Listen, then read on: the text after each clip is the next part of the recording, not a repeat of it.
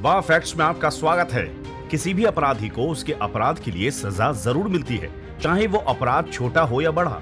लेकिन जरा सोचिए कि अपराधी को उसके अपराध के लिए अजीबो गरीब सजा मिलने लगे तो क्या होगा? आज हम आपको कुछ ऐसी ही अजीबो गरीब सजाओं के बारे में बताने जा रहे हैं, जिसे जानकर आप भी हैरान हो जाएँगे। तो चलिए शुरुआत करते हैं और जान लेते हैं, आखिर कौन कौन है सबसे ज़्यादा अजीबो गरीब सजाएँ? अमेरिका में मिसौरी में रहने वाले डेविड बेरी नामक शख्स ने सैकड़ों हिरणों का शिकार किया था। साल 2018 में इस जुर्म का दोषी पाते हुए अदालत ने उसे एक साल तक जेल में रहकर महीने में कम से कम एक बार डिज्नी का बॉम्बे कार्टून देखने की सजा सुनाई थी। है ना? अजीबोगरीब सजा। मतलब उसने 2018 तक न जाने कितने हिरणों को मार दिया और फिर सजा भी मिली तो कार्टून देखने की। साल 2003 में अमेरिका के शिकागो में रहने वाले दो लड़कों ने क्रिसमस की शाम चर्च से ईसा मसीह की मूर्ति चुराई थी और उसे नुकसान पहुँचाया था।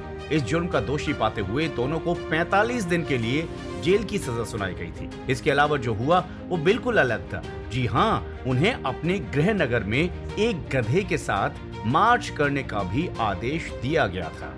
मतलब कि जहाँ पर आप पैदा हुए हैं, वहाँ पर एक गधे के साथ आपको मार्च करने का आदेश सुनाया गया था।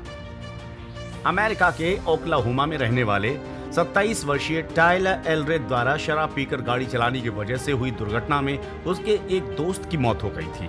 ये घटना साल 2011 की है। क्योंकि टाइलर उस समय हाई स्कूल में पढ़ते थे, इसलिए अदालत ने उन्हें हाई स्कूल और ग्रेजुएशन खत्म करने के अलावा साल भर के लिए ड्रग, शराब और निकोटिन टेस्ट करवाने के साथ ही 10 साल तक चर्च जाने की सजा सुनाई थी।